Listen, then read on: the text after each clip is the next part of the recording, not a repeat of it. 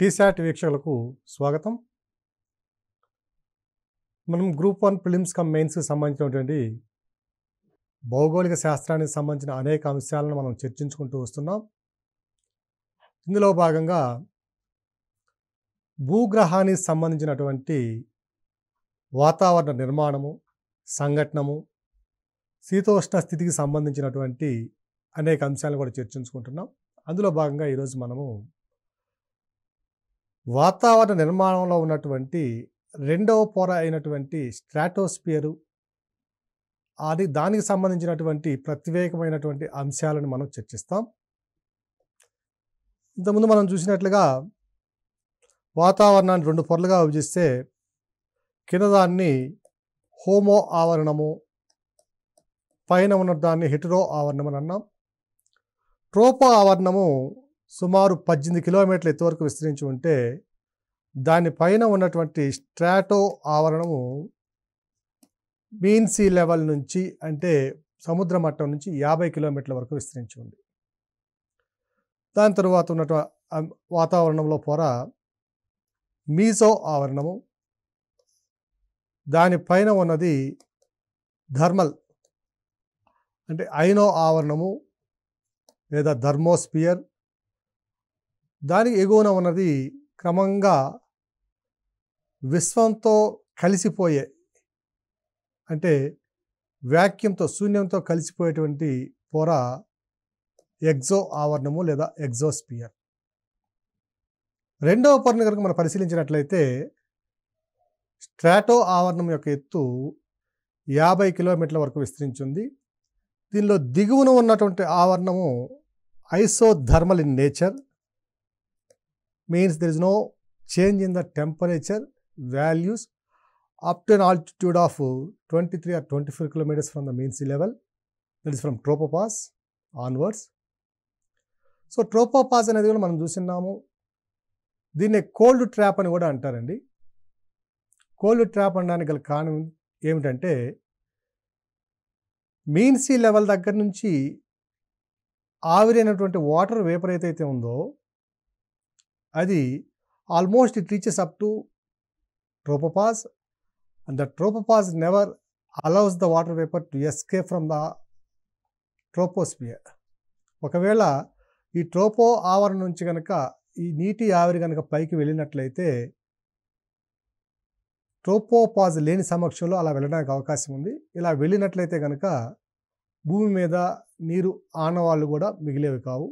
ఈ విధంగా భూమి యొక్క ఆవరణ వ్యవస్థల్ని లేదా జీవ వైవిధ్యాన్ని లేదా జీవి యొక్క ఆవిర్భావాన్ని కాపాడగలిగిందంటే అది ట్రోపోపాజ్ అని చెప్పుకోవాలి. దీనిపైన ఉన్నటువంటి స్ట్రాటావరణంలో దిగువన ఉన్న స్ట్రాటావరణము ఐసోధర్మల్ ఇన్ నేచర్ అంటే సమాన ఉష్ణోగ్రతను కలిగి ఉంటుంది. ఎప్పుడైతే ఉష్ణోగ్రతల్లో విలువలలో మార్పు లేదో పీడన ప్రవణతలు ఉండవు. అంటే ప్రెజర్ డిఫరెన్సెస్ ఉండవు ప్రెజర్ గ్రేడియంట్ ఉండదు. పీడన పీడన వ్యవస్థలో ఎప్పుడైతే హెచ్చుతగ్గులు లేకుండా ఉంటాయో పవన వ్యవస్థ కూడా ఆవిర్భవించదు కాబట్టి అందువల్ల ఈ దిగువన ఉన్నటువంటి ఈ స్ట్రాటో ఆవరణపు పొర జెట్ విమానాలు ప్రయాణించడానికి చాలా అనుకూలమైనటువంటి పొర. అధిక లోడ్ని క్యారీ చేయగలిగినటువంటి కార్గో ప్లేన్స్ ఇవన్నీ కూడా. సో వీటికి ఇంధన సామర్థ్యం అనేది చాలా ప్రధానమైన అంశం. ట్రోపో ఆవరణలో ఉన్నట్లయితే అనేక కల్లోలాలు అలజడులు ఉంటాయి కాబట్టి పవన వ్యవస్థ ఉంటుంది కాబట్టి ఈ ఘర్షణ అంటే ఫ్రిక్షనల్ ఫోర్సెస్ ఎక్కువ ఉంటాయి కాబట్టి దాని నుంచి వచ్చేటటువంటి ఇంధన సామర్థ్యం అంటే మైలేజ్ కూడా చాలా తక్కువ ఉంటుంది కాబట్టి అధిక మైలేజ్ని పొందడం కోసం చాలా ప్రశాంతమైనటువంటి దిగువ స్ట్రాటావర్లో ప్రయాణిస్తాయి. ఈ ఇరవై మూడు కిలోమీటర్ల వరకు చాలా ఐసోధర్మల్గా ఉంటుంది. ఇక ఇరవై మూడు కిలోమీటర్ల నుంచి ముప్పై ఐదు కిలోమీటర్ల వరకు ఇక్కడ మరొక లేయర్ ఉంది. దాన్నే ఓజోన్ లేయర్ అంటాను చూసాం. ఈ ఓజోన్ లేయర్నే ఓజోన్ పొరనే కెమోస్పియర్ అని కూడా అంటామండి. సో కెమోస్పియర్. కెమోస్పియర్. సిహెచ్ఈఎంఓ సో ఈ కెమోస్పియర్ కూడా చాలా ప్రధానమైనటువంటి పొర. భూమి యొక్క జీవ వైవిధ్యాన్ని కాపాడడంలో. ఇక్కడ ఉన్నటువంటి కెమోస్పియరు ఈ ప్రాంతంలో ఉన్నటువంటి కెమోస్పియర్ ఏం చేస్తుందంటే దీంట్లో ఓజోన్ కాన్సన్ట్రేషన్ అనేది ఎక్కువగా ఉంటుంది. భూమి మీద ఉన్నటువంటి మొత్తం ఓజోన్లో అంటే వాతావరణంలో ఉన్న మొత్తం ఓజోన్లో తొంభై శాతం వరకు ఇక్కడ ఉంటే ఒక పది శాతం వరకు ఓజోను ట్రోపో ఆవరణలో ఉంటుంది. ఈ ఓజోన్ యొక్క ప్రాధాన్యత మనం గమనించాం. It never allows the EV radiation to enter into the troposphere. ట్రోపోస్పియర్లోకి రావడానికి అది ఎప్పుడు కూడా అనుమతించదు. ఈ యూవీ రేస్లో కూడా మూడు రకాలు ఉన్నాయండి ఒకటి వచ్చి యూవీఏ రెండవది యూవీబి మూడవది యూవీసి ఈ యూవీఏని కనుక గమనించినట్లయితే ఇట్స్ నాట్ హార్మ్ఫుల్. పెద్దగా ప్రమాదకరైన ప్రమాదకరమైనటువంటి కిరణాలు కావు ఇవి. యూవీబీ యూవీసీ ఈ రెండు కూడా చాలా ప్రమాదకరమైన కిరణాలు. వీటి యొక్క తీవ్రత చాలా ఎక్కువగా ఉంటుంది. ఇవన్నీ కూడా యూఏ కానివ్వండి బి కానివ్వండి సి కానివ్వండి ఇవన్నీ కూడా ఎలక్ట్రికల్లీ ఛార్జ్డ్ ఎలక్ట్రోమ్యాగ్నెటిక్ వేవ్స్ ఇవన్నీ కూడా విద్యుదావేశపూరితమైనటువంటి తరంగాలు. ఈ హై ఎనర్జీ కెపాసిటీ వల్ల even they can penetrate into the human bodies. So మనిషిలో కూడా చొచ్చుకోగల సామర్థ్యం సామర్థ్యం కలిగినటువంటి ఇవి.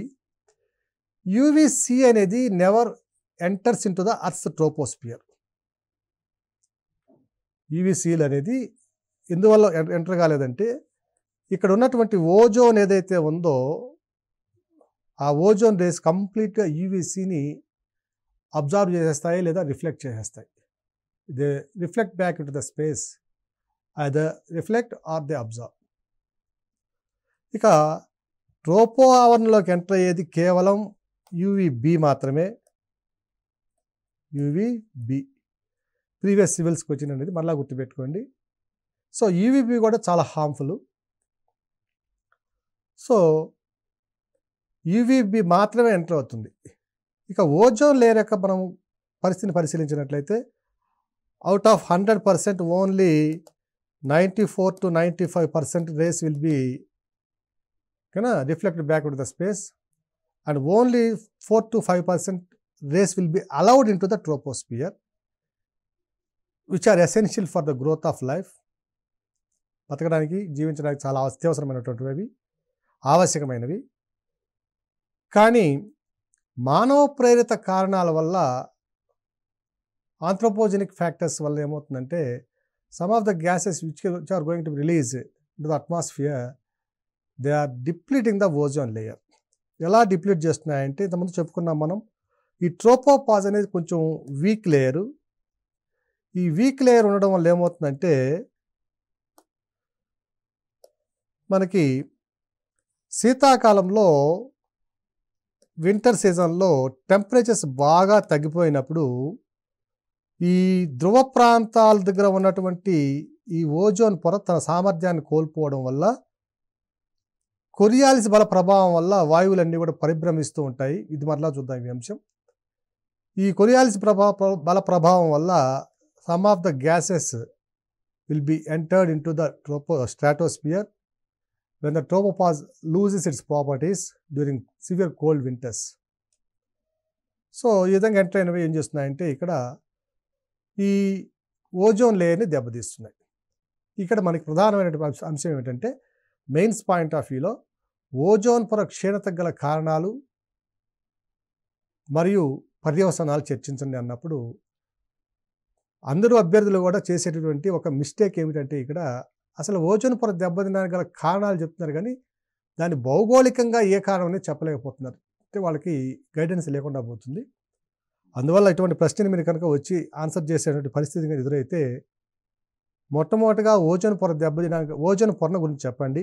స్ట్రాటోస్పియర్లో ఇది ఇరవై మూడు లేదా ఇరవై నాలుగు కిలోమీటర్ల నుంచి ముప్పై ఐదు కిలోమీటర్ల వరకు గరిష్టంగా తొంభై శాతం వరకు విస్తరించి ఉంది. ఈ పొర దెబ్బతినడానికి ప్రధా ప్రధాన కారణం ఈ క్రింది అంశాలు క్లోరోఫ్లోరో కార్బన్స్ హైడ్రోక్లోరోఫ్లోరో కార్బన్స్ ఇవన్నీ చెప్తాం ఇప్పుడు. ఇవి ఎందువల్ల స్ట్రాటో వెళ్తున్నాయనే విషయాన్ని చెప్పండి. ట్రోపోపాజు బలహీనమైనటువంటి పొర కాబట్టి అతిశీతలమైనటువంటి శీతాకాల పరిస్థితుల్లో ధృవాల వద్ద ఈ పొర తన ధర్మాలను కోల్పోవడంతో కొరియాలిస్ బల ప్రభావం వల్ల అన్ని వాయురాశులతో పాటు ట్రోపో అన్ని వాయురాశులతో పాటు ఓజోన్ పొరను దెబ్బతీసే కొన్ని వాయురాశులు కూడా స్ట్రాటోస్పియర్లోకి ఎంటర్ అయ్యి ఓజోన్ లేయర్లో ప్రవేశించడం వల్ల ఇవి ఈ పొర దెబ్బతింటుంది అనే అంశాన్ని మీరు ప్రస్తావించండి. ఇక ఓజోన్ పొరను దెబ్బతీసేటటువంటి అంశాలు లేదా వాయువులు కనుక మనం పరిశీలిస్తే అవి మొట్టమొదటిది సిఎఫ్సిస్ క్లోరోఫ్లోరో కార్బన్స్ ఈ క్లోరోఫ్లోరో కార్బన్స్ అనేవి మొత్తం ఓజోన్ పొర క్షీణతలో ఎనభై శాతం వరకు కారణమవుతున్నాయి దీని తరువాత మొదటిది సిఎఫ్సిస్ రెండవది హెచ్సిఎఫ్సిస్ హైడ్రోక్లోరోఫ్లోరో కార్బన్స్ హెచ్సిఎఫ్సిస్ ఈ సిఎఫ్సిస్ ఎయిటీ పర్సెంట్ వరకు కారణమైతే హెచ్సిఎఫ్సిస్ చాలా తక్కువ పరిధిలో కారణమవుతున్నాయి. వీటి తర్వాత హేలాన్స్ అంటామండి. హేలాన్స్ ఈ హేలాన్స్ వచ్చి ఫైర్ ఫైటింగ్లోను రాకెట్ లాంచింగ్ వెహికల్స్లోను ఫ్యూయల్గా యూజ్ చేస్తారు. దాని నుంచి రిలీజ్ అవుతాయి హేలాన్స్ అనేవి. I mean nothing but the halogens ఇవి. వీటి తర్వాత మిథైల్ బ్రోమైడ్. మిథైల్ ఇవి కూడా ప్రీవియస్ సివిల్స్కి వచ్చినండి గుర్తుపెట్టుకోండి. Next nitrides of oxygen. Nitrides of oxygen. దీని తరువాత అంశం పరిశీలించినట్లయితే agricultural inputs like fertilisers agricultural inputs. తర్వాత మెథైల్ క్లోరోఫామ్ మిథైల్ క్లోరోఫామ్ ఇవన్నీ కూడా ఓజోన్ పొరను దెబ్బతీసేటటువంటి రసాయన పదార్థాలు. ఇక ఓలటైల్ ఆర్గానిక్ కాంపౌండ్స్ కూడా కొంతవరకు పాత్ర పోషిస్తాయి. Volatile organic compounds. Volatile organic compounds. Volatile organic కాంపౌండ్స్కి ఉదాహరణ ఫార్మాలిహైడ్ బెంజిను మొదలైనవి. ఇక హ్యాలన్స్ అంటే హాలోజన్స్లో ఉన్నటువంటి ఫ్లోరిన్ క్లోరిన్ బ్రోమిన్ ఈ మూడు కూడా ప్రధానమైన కారణాలు. అసలు ఓజోన్ పొర దెబ్బతినడానికి ఓజోన్ పొర యొక్క సాంద్రత లేదా డెన్సిటీ అనేది డిక్రీజ్ కావడానికి ప్రధానమైన అంశం ఏమిటంటే ఓ త్రీ అనేది ఎప్పుడూ కూడా it is under the influence of UV rays UV రేస్తో నిరంతరము చర్య జరుగుతూనే ఉంటుంది ఓ త్రీ. ఇది చర్యనందుతూ ఓ టూ ప్లస్ ఓగా మారి అదే యూవీ సమక్షంలో మరలా ఓ త్రీగా మారుతుంది. ఈ సందర్భంలో ఓ టూ ఓగా విడిపోయినటువంటి సందర్భంలో హ్యాలోజెన్స్ అయినటువంటి ఫ్లోరిన్ క్లోరిన్ బ్రోమిన్ ఇవి కనుక ఓజోన్ లేయర్లకు ప్రవేశించినట్లయితే ఇవి హై ఎలక్ట్రో నెగటివిటీ ఎలిమెంట్స్ అత్యధిక రుణాత్మక విలువ కలిగినటువంటి మూలకాలు ఇవి ఇవి ఫ్లోరిన్ కానివ్వండి క్లోరిన్ కానివ్వండి బ్రోమిన్ కానివ్వండి ఏమవుతుందంటే ఈ ఫ్రీ ఆక్సిజన్ ఆటంతో చర్య నొందితే సిఎల్ఓ కానివ్వండి ఎఫ్ఓ కానివ్వండి బీఆర్ఓ కానివ్వండి ఇలాంటి ఇలాంటి కాంపౌండ్స్ వీటితో ఉన్నటువంటి కాంపౌండ్స్ ఏర్పడడానికి అవకాశం ఉంది. ఎప్పుడైతే ఫ్రీ అయినటువంటి ఆక్సిజన్ యాటమ్ ఏదైతే ఉందో దాన్ని ఇవి బంధించడం వల్ల ఇప్పుడు ఓ టూ కాన్సన్ట్రేషన్ పెరిగి ఓ త్రీ కాన్సన్ట్రేషన్ తగ్గుతుంది. ఓ టూ కూడా కొంతవరకు యూవీ రేస్ని అడ్డుకోగలిగే సామర్థ్యం ఉంది. ఓజోన్ ఓ త్రీ ఏమో నైంటీ ఫైవ్ పర్సెంట్ వరకు యూవీ రేస్ని యూవీ కిరణా కిరణాలని అడ్డుకుంటే ఓ టూ అంటే ఆక్సిజన్ అనేది కేవలం పది నుంచి పదకొండు పన్నెండు శాతం కిరణాలను మాత్రమే అడ్డుకోగలుగుతుంది. అంటే తొంభై శాతం కిరణాలని ఈవీ రేస్ని అది ట్రోపోస్పియర్లో పంపడానికి అవకాశం ఇస్తుంది. అందువల్ల ఓ త్రీ చేసినంత ఎఫెక్టివ్గా యూవీ కిరణాలను అడ్డుకునే ఏ మూలకం కూడా లేదు మనకి. సో ఇప్పుడు ఓ త్రీ కాస్త దాని యొక్క కాన్సన్ట్రేషన్ తగ్గి ఓ టూ కాన్సన్ట్రేషన్ క్రమంగా పెరగడం వల్ల ఈ ప్రక్రియ ప్రక్రియ కూడా ధ్రువ ప్రాంతాల్లో జరుగుతుండడం వల్ల ధ్రువ ప్రాంతాల్లో ఆర్కిటిక్ ప్రాంతం కానివ్వండి అంటార్కిటిక్ ప్రాంతం కానివ్వండి వీటిలో ఓజోన్ పొర క్షీణత అనేది ఎప్పుడో ప్రారంభమైంది. ఓకే?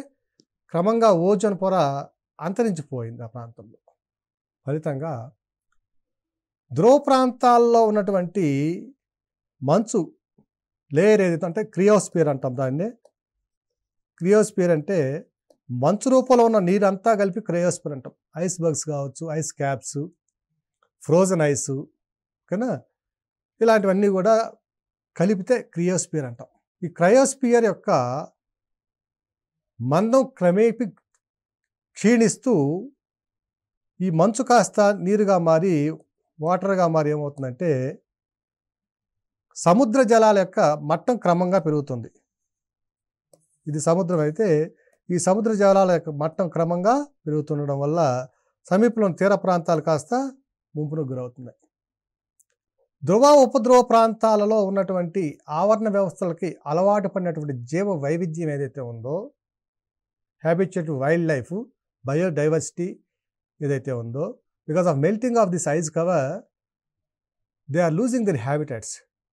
అవి తమ జీవవాసాలు జీవావాసాలని కోల్పోతున్నాయి. ఉష్ణోగ్రతల్లో పెరుగుదల సంభవించడం వల్ల అవి తమ యొక్క ఆహారపు వనరులను కూడా కోల్పోతున్నాయి వీటితో పాటుగా పెరుగుతున్న ఉష్ణోగ్రతలకి అవి హ్యాబిచ్యుయేట్ కాలేకపోతున్నాయి. ఫలితంగా జీవ వైవిధ్యం అనేది ఈ ప్రాంతాల్లో క్రమంగా క్షీణించడం. ఈ క్రయోస్పియర్ కింద ఏవైతే ఉన్నాయో క్రయోస్పియర్ అయితే దీని కింద ఉన్నటువంటి కార్బన్ కాంపౌండ్స్ ఏవైతే ఉన్నాయో మరలా వీటి ద్వారా సిఓ టూ కానివ్వండి మీథేన్ కానివ్వండి లాంటి తదితర గ్రీన్ హౌస్ గ్యాసెస్ కూడా రిలీజ్ కావడానికి ఆస్కారం ఇస్తుంది. అందువల్ల గ్రీన్ హౌస్ ప్రభావం కూడా పెరుగుతూ ఉంది. అలాగే ఈ ఓజోన్ లేయరు లేకపోవడం వల్ల ట్రోపో ఆవరణలో ప్రవేశించే యూవి కిరణాల వల్ల ఏమవుతుందంటే చాలా పవర్ఫుల్ ఎలక్ట్రోమాగ్నెటిక్ వేవ్స్ కాబట్టి ఇవి they are directly penetrating to the human body and they are causing severe skin cancers severe skin cancers వస్తున్నాయి. వాటిలో ప్రధానమైంది మ్యాలిగ్నెంట్ మెలనోమా మ్యాలిగ్నెంట్ మెలనోమా మరొకటి బాసల్ తదితర స్కిన్ క్యాన్సర్స్ రావడానికి కూడా ఆస్కారం ఉంది. వీటితో పాటుగా మరొక ప్రభావం ఏమిటంటే ఇవి డిఎన్ఏలోకి కూడా చొచ్చుకుపోగల సామర్థ్యం కలిగినవి. ఫలితంగా డిఎన్ఏలో ఉన్నటువంటి జీనోమ్ సీక్వెన్సింగ్ కూడా మార్చగలిగినటువంటి క్యాపబుల్ రేస్ ఇవి. ఏదైనా నేరచరిత కలిగిన వాళ్ళు కానివ్వండి లేదా సామాజిక అశాంతి కలగడానికి కారణం కానివ్వండి అలాంటి వాటి అంశాలలో నేరస్తులను పట్టుకోవడంలో కూడా కొన్ని సందర్భాల్లో మనకి చేదు సంఘటనలు ఎదురు కావడానికి అవకాశం ఉంది. ఉదాహరణకి ఒక వ్యక్తి ఒక వ్యక్తి ఇంకొక ఆమెతో సంబంధం కలిగి తన బిడ్డలకు జన్మనిచ్చారు. కొంతకాలం తర్వాత ఆ బిడ్డలతో సంబంధం లేదన్నారు అనుకోండి అప్పుడు మనం చేయవలసిందని డిఎన్ఏ టెస్ట్ చేస్తాం. కానీ ఈ యూవీరెస్ ప్రభావానికి కనుక గురైతే డిఎన్ఏ కూడా చేంజ్ అయిపోయి నేరస్తుని పట్టుకోవడంలో మనము కొన్ని సమస్యల్ని ఎదుర్కోవాల్సి వస్తుంది. అదేవిధంగా డిఎన్ఏ చేంజ్ కావడం వల్ల కొన్ని జీవజాతుల మనుగడ కూడా భవిష్యత్తులో ప్రశ్నార్థకమైనటువంటి పరిస్థితి ఉందండి. వీటి తర్వాత చూసినట్లయితే మరొక సమస్య ఐ డ్యామేజ్ అంటే కంటిలో ఉన్నటువంటి ప్రధానమైన సూక్ష్మమైన పొరలు ఏమైతే ఉన్నాయో అవి దెబ్బతిని కెటరాక్ట్ ప్రాబ్లమ్స్ రావడానికి కన్నా కంటి చూపు కోల్పోవడానికి కూడా అవకాశాలు ఉన్నటువంటి పరిస్థితి యువీ రేస్ది. ఇక అగ్రికల్చర్ ప్రొడక్షన్ విషయంకి వస్తే యూవీ రేస్ వల్ల ప్రధానంగా సోయాబీను రైసు వీటి యొక్క ఈల్డింగ్ ఫెసిలిటీ అంటే ఈల్డింగ్ క్యాపబిలిటీస్ తగ్గిపోతాయి. అంటే ఉత్పాదక సామర్థ్యాన్ని కోల్పోతాయి. ఫలితంగా భవిష్యత్తులో ఆహార సంక్షోభానికి దారితీయడానికి కూడా అవకాశం ఉంది. సో ఇవన్నీ కూడా ఈవీ రేస్ టోపో ఆవరణలో ప్రవేశించడం వల్ల జరిగే అనర్థాలు దీనికి గల కారణం మనకు తెలిసిందే ఓజోన్ పొర క్షీణత సో మరి ఈ ఓజోన్ పొర క్షీణతకు సంబంధించిన అంశాలను మనం గమనించాం. దీనికి సంవత్సరం సంబంధించిన ప్రోటోకాల్ ఒప్పందం ఏమంటే Montreal protocol nineteen eighty four. ఈ మాంట్రియల్ ప్రోటోకాల్ ప్రకారము మనం ఏవైతే ఓజోన్ పొర క్షీణతకు కారణమైనటువంటి వాయురాశుల్ని లేదా పదార్థాలు మనం చూసామో వాటన్నిటి కూడా అనేక ఫేజెస్లో క్రమంగా తగ్గించుకుంటూ వచ్చి కన ఓజోన్ పొర క్షీణతకు గురి కాకుండా కాపాడవలసిన బాధ్యతని అన్ని దేశాలు భుజానెత్తుకున్నాయి ఫలితంగా రెండు వేల పదిహేను నుంచి జరిగినటువంటి పరిశోధనలో ప్రతి సంవత్సరం జరుగుతున్న పరిశోధనలే రెండు వేల పదిహేను నుంచి సేకరించిన సమాచారం ప్రకారము ఓజోన్ పొర క్షీణత క్రమంగా తగ్గిపోయి మరలా అది రీక్యూప్ అవుతూ అంటే పునరుద్ధరించబడుతున్నటువంటి పరిస్థితి కూడా మనం గమనించవచ్చు. సో ఇది వాతావరణ నిర్మాణంలో ఉన్నటువంటి స్ట్రాటోస్పియరు స్ట్రాటోస్పియర్ ఎదుర్కొన్న సమస్య ఓజోన్ పరక్షయంతో సంబంధించిన అంశం. ఇది హోమోస్పియర్. ఇక హోమోస్పియర్కి వచ్చేసరికి ఇక్కడ ఉష్ణోగ్రత క్షీణత వల్ల ట్రోపో ఆవరణంలో టెంపరేచర్స్ తగ్గిపోయి భూమధ్య రేఖ వద్ద మైనస్ ఎనభై నుంచి ఎనభై ఐదు ఎనభై ఐదు డిగ్రీల సెంటీగ్రేడ్ చేరితే టెంపరేచర్ ఇన్వర్షన్ అని చెప్పాం ఇక్కడ. ఉష్ణోగ్రత విలోమం. Temperature inversion. ఇక్కడేమో నార్మల్ ల్యాబ్స్ రేట్. అంటే ఉష్ణోగ్రత క్షీణత. ఎక్కడండి ఉష్ణోగ్రత క్షీణత అంటే? టోపోస్పియర్లో ఇది ఉష్ణోగ్రత విలోమం. ఉష్ణోగ్రత విలోమం ఏమో స్ట్రాటోస్పియర్లో ఈ ఉష్ణోగ్రత విలోమం వల్ల ఉష్ణోగ్రత పెరుగుతున్నాయి ఇక్కడ. టెంపరేచరు పెరుగుతుంది. క్షీణత వల్ల ఇక్కడ టెంపరేచరు తగ్గుతుంది. సో ఉష్ణోగ్రత పెరగడం వల్ల క్రమంగా ఈ స్ట్రాటోపాజ్ అంటే స్ట్రాటో ఆవరణాన్ని దానిపైన ఉన్నటువంటి మీజో ఆవరణాన్ని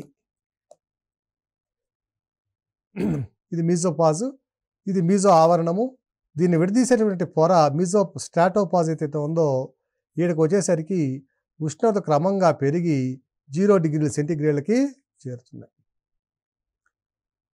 ఓకే? సో మనం ఇక్కడ ఇంకొక అంశాన్ని కూడా గమనించవచ్చు.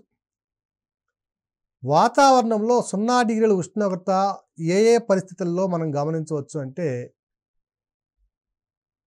భూమి యొక్క లామినార్ లేయర్ అంటే జస్ట్ భూమి యొక్క పై పొర అనుకోండి.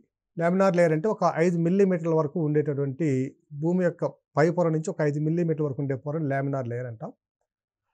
ఆ లామినార్ లేయర్ దగ్గర ఫ్రోజన్ కండిషన్లో ఉన్నటువంటి సబ్ పోలార్ పోలార్ రీజియన్స్లో ధ్రువ ఉపద్రవ ప్రాంతాల్లో సున్నా డిగ్రీలు ఉష్ణోగ్రతను గమనించవచ్చు. అలాగే ట్రోపో ఆవరణలో పైకి వెళ్ళే కొలది టెంపరేచర్ క్రమంగా పడిపోతుందండి. ఫర్ ఎగ్జాంపుల్ ఒక ఏడెనిమిది కిలోమీటర్లకు వెళ్ళేసరికి టెంపరేచర్ క్రమంగా పడిపోయి సున్నా డిగ్రీల సెంటిగ్రేడ్ చేరుతుంది ఇక్కడ. అది అక్షాంశాన్ని బట్టి మారుతూ ఉంటుంది. సో ట్రోపో ఆవరణంలో ఒక దగ్గర చూడొచ్చు. అలాగే స్ట్రాటోపాజ్ దగ్గర కూడా సున్నా డిగ్రీల ఉష్ణోగ్రతని గమనించవచ్చు. అంటే ఇక్కడ ఉష్ణోగ్రతలు సున్నా నుంచి సున్నాకు మారుతూ ఉన్నాయంటే ఒక రకమైనటువంటి ఒకే రకమైన పరిస్థితులు ఉన్నాయి ఇక్కడ. అందువల్ల దీన్ని హోమోస్పియర్ అన్నాం. ఇక్కడ హెట్రోస్పియర్ ఇక్కడ టెంపరేచర్స్ ఫాల్ కావడం అనేది ఉండదు ఇంకా. క్రమంగా టెంపరేచర్ పెరుగుతూనే ఉంటాయి.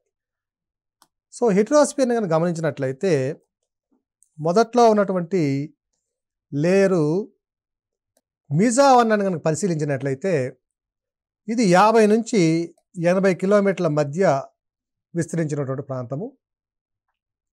The existence of the mesosphere came to be known from the meteors study of meteors భూమి మీదకి ఉల్కపాతాలు సంభవిస్తుంటాయి.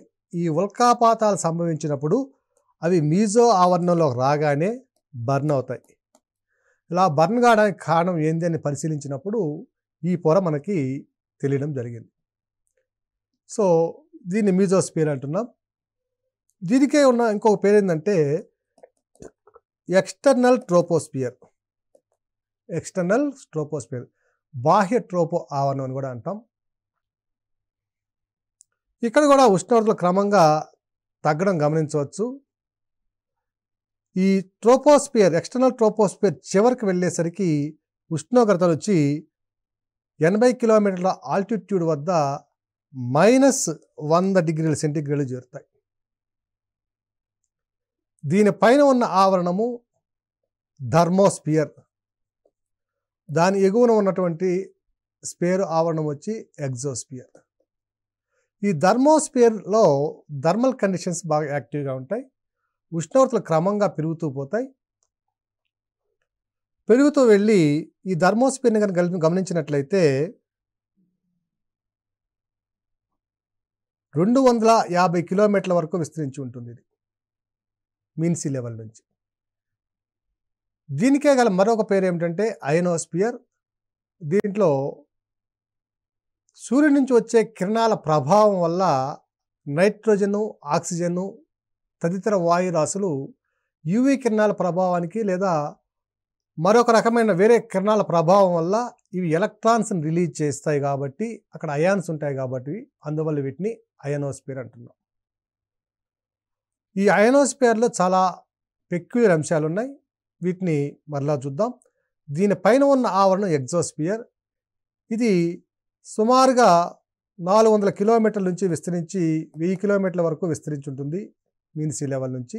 ధర్మోస్పియరు దీని యొక్క ప్రభావం రెండు వందల యాభై కిలోమీటర్ల పరిధిలో బాగా చూడవచ్చు. దీని యొక్క పరిధి నాలుగు వందల కిలోమీటర్ల వరకు కూడా విస్తరించి ఉంటుంది. నాలుగు వందల నుంచి వెయ్యి కిలోమీటర్లకు ఉన్న ఆవరణం ఏమిటంటే ఎగ్జోస్పియర్. ఈ ధర్మోస్పియర్లో ఉన్నటువంటి అంశాల మీద సివిల్స్లో కానివ్వండి గ్రూప్ వన్లో కానివ్వండి గ్రూప్ టూలో కానివ్వండి చాలాసార్లు అనేక సందర్భాల్లో ప్రశ్నలు ఇవ్వడం జరిగింది.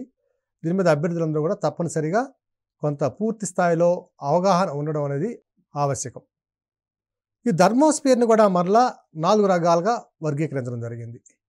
D layer e E layer F layer G layer ఈ ధర్మో ఆవరణము అనేది మన శాటిలైట్ వ్యవస్థకు సంబంధించినటువంటి రేడియో కిరణాలని రేడియో వేవ్స్ని ట్రాన్స్మిట్ చేయడంలో కీలక పాత్ర పోషిస్తుంది.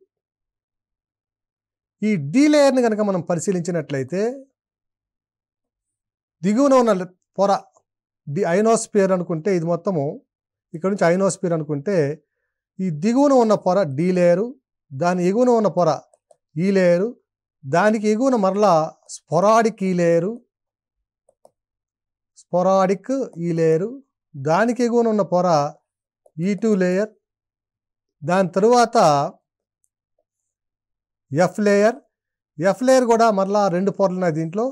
ఎఫ్ వన్ ఎఫ్ టూ దాని తర్వాత జీ లేయర్ సో ఇదంతా కలిపి ఏమవుతుందంటే ధర్మోస్పియర్ అవుతుంది. ఈ డీ లేయర్ అనేది కూడా అస్థిరమైనటువంటి పొర. ఈ D layer high frequency radio వేవ్స్ని observe చేసుకొని లో ఫ్రీక్వెన్సీ రేడియో వేవ్స్ని ట్రాన్స్మిట్ చేస్తుంది.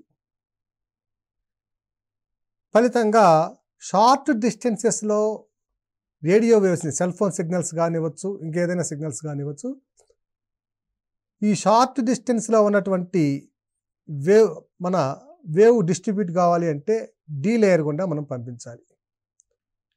తర్వాత ఈ లేయర్ కూడా అన్స్టేబుల్ లేయరే అస్థిరమైన పొరే. ఇది కూడా రాత్రి సందర్భాల్లో తన ఉనికిని కోల్పోతుంది. ఈ లేయర్లు మీడియము లాంగ్ వేవ్స్ని ట్రాన్స్మిట్ చేస్తుంది. ఇది సూర్యుడి నుంచి వచ్చే ఎక్స్రేస్ని అబ్జర్వ్ చేసేస్తుంది గ్రహించేస్తుంది. ఎక్స్రేస్ని మనం ట్రోపార్న్లో ప్రవేశించకుండా అబ్జర్వ్ చేస్తుంది. ఈ లేయర్. ఇక స్పొరాడిక్ ఈ లేయర్ అనేది కొన్ని ప్రత్యేకమైన పరిస్థితుల్లో అరోరాస్ అనేవి సంభవిస్తాయి. అది ఇంకో సెషన్లో చూస్తాం.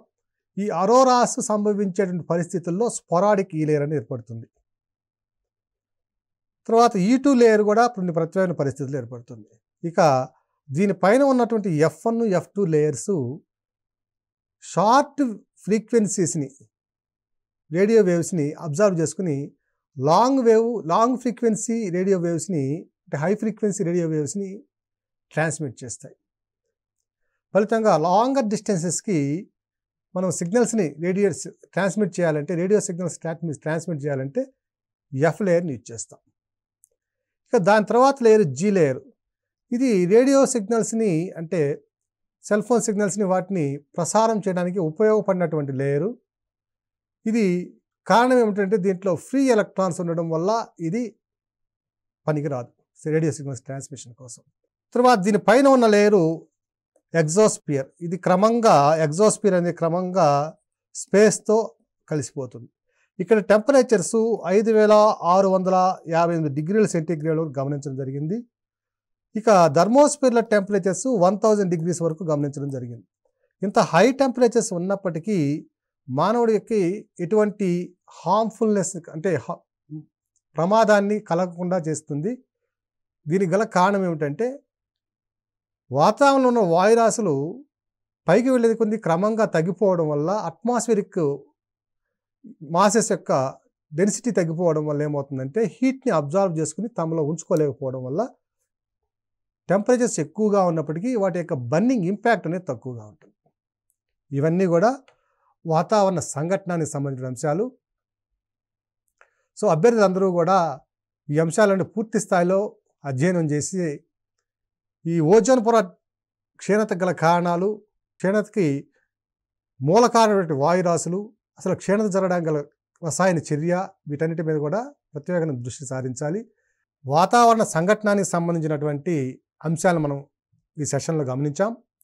ఇందులో భాగంగా స్ట్రాటోస్పియరు దానిపైన ఉంటే మీజోస్పియరు ధర్మోస్పియరు ఎగ్జోస్పియర్లో అనేక అంశాలను పరిశీలించాం.